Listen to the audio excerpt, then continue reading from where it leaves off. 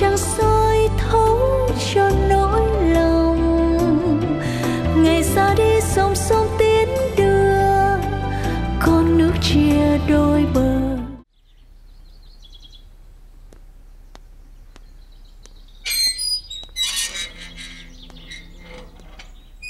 Xin lỗi, anh muốn gặp tôi hả?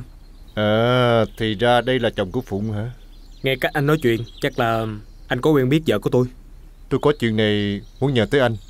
Nhưng mà ở đây không tiện. Hay là mình đi chỗ khác nói chuyện đi.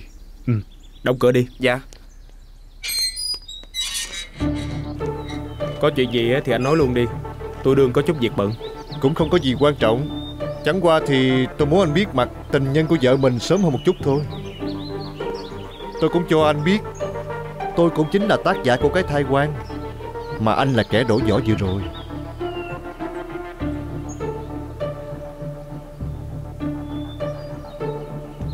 Anh đến đây muốn cho tôi biết chuyện này thôi sao?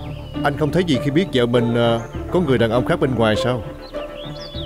Tôi với anh chưa hề quen biết nhau. Làm sao tôi biết anh nói thật hư thế nào? Tôi đâu có biết là anh gì ghen ghét vợ tôi.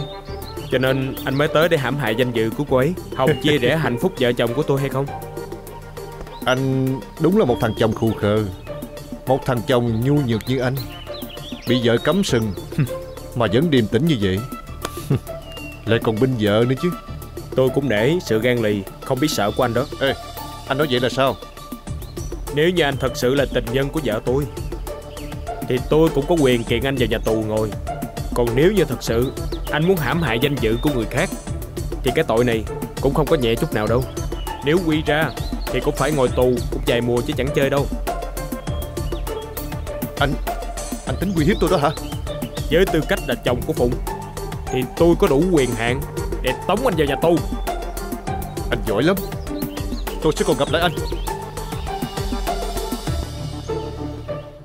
Đón xem diễn biến tiếp theo của bộ phim truyện Việt Nam Phận làm dâu phát sóng vào lúc 20 giờ từ thứ hai đến thứ bảy trên truyền hình Vĩnh Long 1.